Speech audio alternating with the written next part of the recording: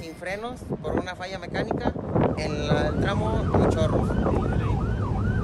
Está un carril abierto para que pases por ahí. Está un carril abierto para ti.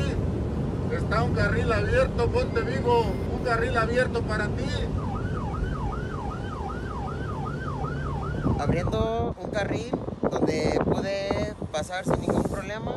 El pasado lunes 6 de abril, elementos de la Guardia Nacional evitaron un accidente después de que un tráiler se quedara sin frenos y circulara a exceso de velocidad en una carretera de San Luis Potosí. Los hechos fueron registrados en el kilómetro 224 del camino Puerto México, Ojo Caliente, y de acuerdo con guardias nacionales, en la puerta del copiloto del vehículo se observaba a una mujer con una tela roja gritando que no tenían frenos. Ante el riesgo de que la unidad de carga se impactara con otros vehículos, los elementos de la Guardia Nacional le abrieron el paso y se coordinaron con el personal de la caseta de peaje, los chorros, para que abrieran un carril de circulación y despejaran la zona. Fue hasta el kilómetro 200 de la vía México-Piedras Negras, donde el conductor logró disminuir la velocidad y detener el tráiler.